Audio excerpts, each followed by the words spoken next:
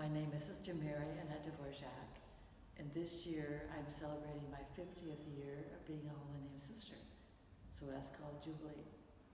And then of those 50 years, I have spent 44 of those years teaching here at Holy Names Academy, both English and religion.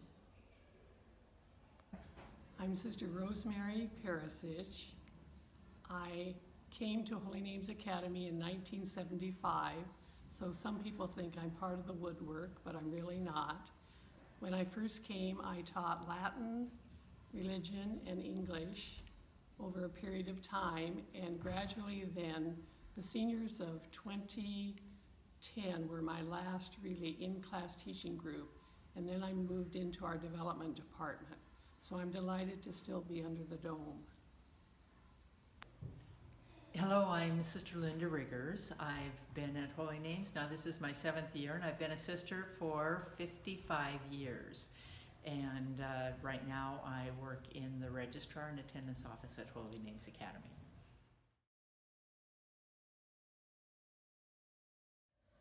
Well, prayer for me is a very special time of reflecting on the scriptures of the day, a time of trying to think of some way to apply them to each of my days.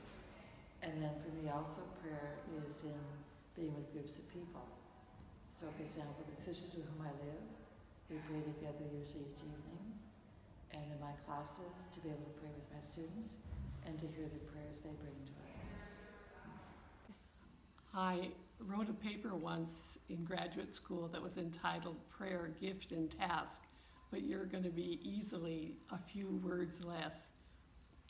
It's really a hard question, I think, but for me, prayer is um, God's gift to me, assuring me that He's really in my life. Well, prayer to me, um, a lot of times prayer for me is just simply my being conscious of the divine and the divine being conscious of me.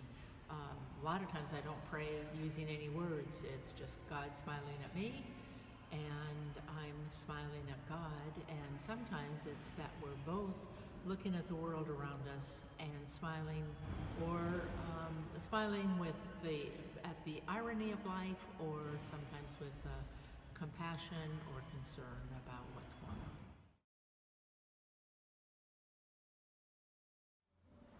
Well, I pray early in the morning, long before most of you are up. And then I also pray with my students throughout the day. Oftentimes, when I might be inclined to be distracted or impatient, I usually pause and pray a little bit then. And then I also pray in the evening before dinner with my sisters. Well, I'd like to pretend that I follow St. Paul, who says, pray always. But in between, I do a million other things. And believe it or not, a couple years ago, I chose Mary, our mother, to be my statistician. Because when people even ask me for prayers, and I, I really want to be genuine and say, yes, I will, I kind of leave it up to her to remind me. But in my day schedule, I pray before I come over to school in the morning because life gets too complicated.